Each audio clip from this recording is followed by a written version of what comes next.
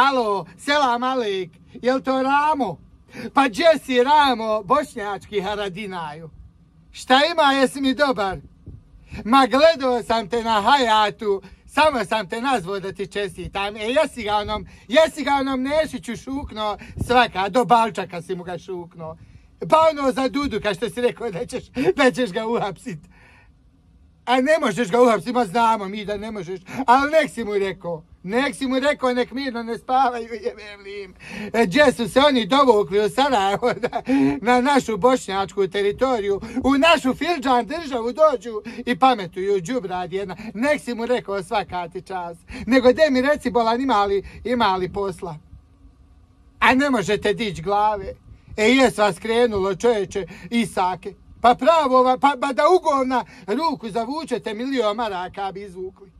Svaka vam čast. A sve narod ubasi kuka, kaže, nema para ovdje. A u rame je 17 miliona na računu. Pa što ne radiš peti materina? E pa znaš kako mi idu na živce? A ima još dva put toliko što nisi prijavio.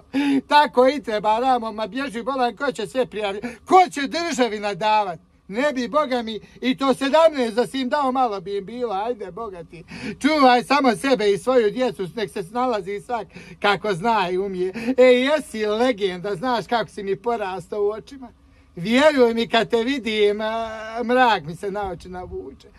E, znaš šta, hvala onoj trojci što te je tu postavila, Allah nagradio. I nećemo im to zaboraviti. Na idućim ćemo ih izborima nagraditi, isto kao što smo na ovim bakira nagradili. Eto, samo da znaju.